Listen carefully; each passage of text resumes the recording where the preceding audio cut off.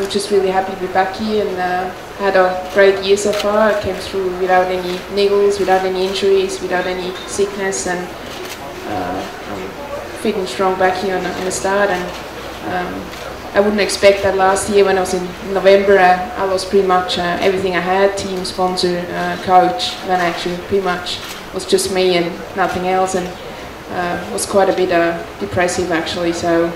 I'm really happy to be back here, and like I said before, I'm in a very happy place. Um, uh, I don't know how many guys of you have been on the highway this morning.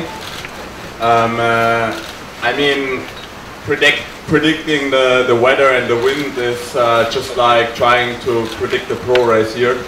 Um, everybody tries. Um, uh, sometimes it's going to be way difficult, different than, uh, than predicted. But if you could believe the predictions, it should be even a little bit better. And uh, with a little bit better, I mean a little bit worse for most of the other guys.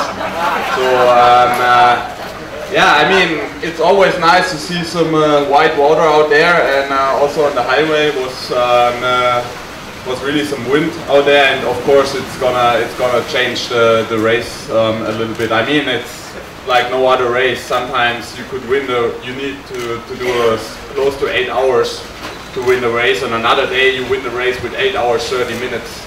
And that does not mean the athletes are have been worse that year or something. It just depends so much on the conditions, and of course, wind favors my strengths.